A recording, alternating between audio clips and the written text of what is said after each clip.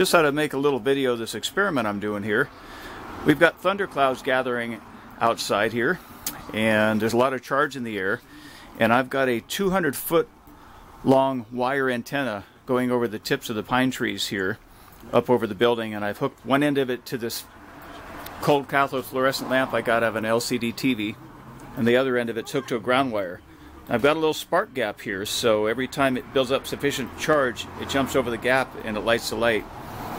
So if this if the storm uh, clouds uh, become more intense, it's going to be interesting to see what this does. Now, if for some reason this does take a direct hit, uh, could be kind of scary. For those that are wondering, yes, I do have a spark gap on it, but it's a very wide spark gap. And the reason I designed it that way, I wanted to be able to experiment this way. So anyway, there you have it. Uh, free energy once again. I suppose I could put this into a capacitor or something and uh, that might be interesting. In a way, that wire is acting like a capacitor, as you can see, because it takes time to build up the charge, and when it does, then it sparks. Anyway, uh, you can look outside. Can't really see a whole lot at this point, but it looks like uh, a thunderstorm is in the works.